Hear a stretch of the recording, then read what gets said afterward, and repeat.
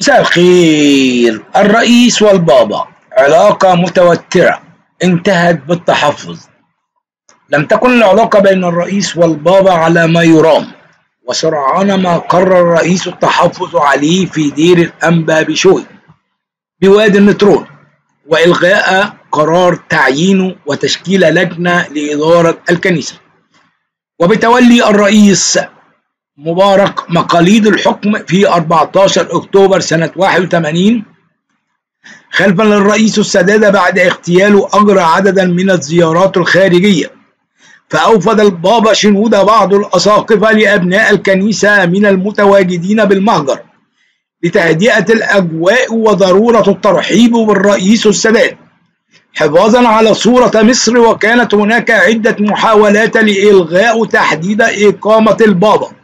إلى أن قام مبارك في 3 يناير 1985 بإصدار قرار جمهوري بإلغاء قرار السادات وإعادة تعيين الأنبا شنودة الثالث بابا الأسكندرية بابا بطريرك الكرازة المرقصية. وضمت قائمة الاعتقالات 1536 مفكرا وسياسيا.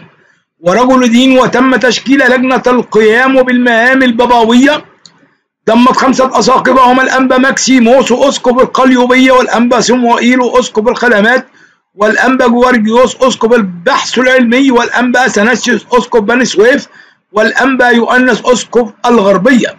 وشمل قرارات التحفظ ثمان أساقفة بسجن المرج هم الأنبا أمونيوس وأسقف الأقصر والأنبا بمواك والأنبا بنيامين أسقف المنوفية والأنبا بشوي أسقف دمياط والأنبا بيمن أسقف ملوي والأنبا تدرس أسقف بورسعيد والأنبا فام أسقف طمع والأنبا ويسا أسقف البليانة بالإضافة إلى 24 كاهنا منهم القمص إبراهيم عبده والقمص بولس بسيلي والقمص بشوي يسا والقمص عبد المسيح بسيط أبو الخير وكان وقتها خادما في الكنيسة وتمت مصادرة عدد من الصحف من بينها القرازة ووطني. ووجهت اتهامات لهم بالتعصب وتحريض وتعريض الوحدة الوطنية للخطر. كما وجهت للبابا تهمة الحض على كراهية النظام وإطفاء الصبغة السياسية على منصب البطريرك. الكاتب والمفكر كمال زاخر قال إن العلاقة بين الرئيس السادات والبابا شنودة بدأت متوترة حيث شهدت منطقة الخنكة حادثا طائفيا في نوفمبر 1972 وأضرم متشددون النيران في الكنيسة ومنازل ومحال للأقباط المسيحيين. وهو ما دفع الكهنة للمرة الأولى للخروج في مسيرة والإصرار على الصلاة على أنقاض الكنيسة المحترقة. وهو ما اعتبره السادات تهديدا من البابا شنودة أضاف بعد فترة قليلة زار الرئيس السادات القدرائية بالعباسية وظل يوما كاملا مع البابا شنودة يتحدثان ساويا ما خفف من حدة التوجس الذي استحوذ على السادات إزاء الواقعة ثم توترت العلاقة مرة أخرى عقب زيارة البابا للولايات المتحدة الأمريكية. وتابع دخل طرف ثالث في العلاقة بين الرئيس والبابا وهو الخليج والسعودية التي كانت تريد تغيير هاوية مصر. ما انتهى بالتحفظ على البابا في دير الأنبا بشوي بعد أحداث الخنكة. وتمت مصادرة صحف ومجلات كنيسية. يوميات أيضا نسائية في سجن السادات كفاح وتوفير الخبز الملكي. نعم لقد كانت واحدة من الذين تم ترويعهم في ذلك الفجر الخميس 3 9 سنة 81 ورايت في طريقي إلى السجن عمائم الشيوخ والكهنة تساق إلى الإهانة والبهتان بهذه الكلمات تزيلت الآدبية والكاتبة صفيناس قاسم شهادة. نشرتها في 2008 عن اعتقالات سبتمبر سنة 81 في فاصل من الحمد والشكر على مصير محتمل كان بانتظاره أعداد تقدر بالآلاف. ألقى القبض عليهم في حملة تحفظ موسعة شملت عناصر تهدد وحدة وأمن البلاد وكما وصفتهم منشطات الصحف حينئذ ليصبح مصير كمذبحة القلعة محتملا في حقهم.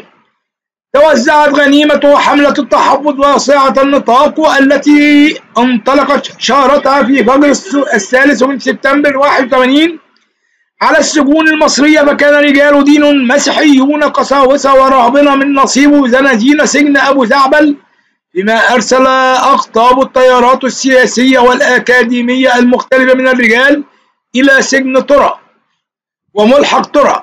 بينما أرسل القسم النسائي من حملة التحفظ إلى سجن القناطر شملت قائمة التحفظ النسائية عددا من الوجوه البارزة. تعدد من رائية في سجن السجن تلك التي لم تكن الأولى بالنسبة لها. فريدة النقاش وشاهندة مقلد والدكتورة نوال السعداوي والدكتورة أمينة رشيد والدكتورة عواطف عبد الرحمن والدكتورة لطيفة الزيات وفي ليلة السجن أفادت قاسم كثيرا من تجربة السجن السابقتين في السبعينات وخاصة لتستخلصوا حيلة خاصة للزوج عن جسدها ضد الصراصير المنتشرة بكثافة في عنبر سجناء الرأي. بمستشفى السجن الذي قضت فيه ليلتها الأولى عن طريق طرق الأنوار مضاءة لطرد الحشرات التي تأنس بالظلام الأمر الذي رفضته فريد النقاش تماما وقتها إذا أبت ألا تنام في الظلام.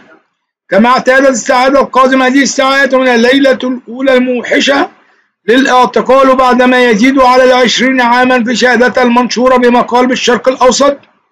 في خفة هذه المرة منزوعة المرارة مازحة مع شاهندة ويقول ما فيش تعذيب ما اسم السجن مع فريدة إذن لم تدم أيام المزاح ورفقة صبيناز وشاهندة طويلا إلى أن كللت أمسيات إذاعية من مزيحات أخذته فريدة النقاش من عنبر سجنات المخدرات المجاور على سبيل الإعارة.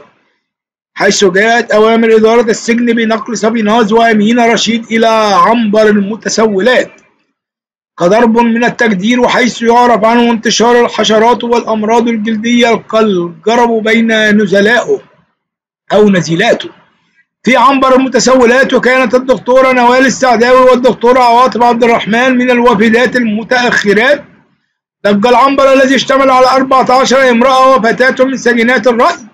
وسجينات التسول كما تستعيد السعداوي في كتابتها المنشور بعد الأحداث بسنوات ثمان مذكراته في سجن النساء بروايات القبض على رموز الحركة النسائية المصرية. باختلاف الظروف فيما تأخر القبض على عواطف عبد الرحمن أستاذة الصحافة والإعلام بجامعة القاهرة حتى عودتها من الخارج ليتم تلفقها. وأسرها من مطار القاهرة الدولي تذمرت نوال السعداء الطبيبة والمحاضرة بكلية الطب وقتها انقطع رجال التحفظ عليها إبداع أدبي بطرق مزعج على باب منزلها ورفضت الامتثال إليه حيث لم يحمل الزوار إذن نيابة ليضطروا لكسر باب شقتها. لم تكن السعداء تتجاوز صدمة اقتحام شقتها والقبض عليها حتى بدأت خريطة العنبر السياسية ترسم لتسبقها موقفها السياسية والاجتماعية في نقاشات خلافية حامية. ما لبس العنبر برمته تحطيمها وتخطيها بتنظيم الصفوف وتحديد المطالب والأولويات والموضوع كبير وشيق. انتظروا معنا كل ما هو جديد. شكرا لكم أحبائي وأعزائي.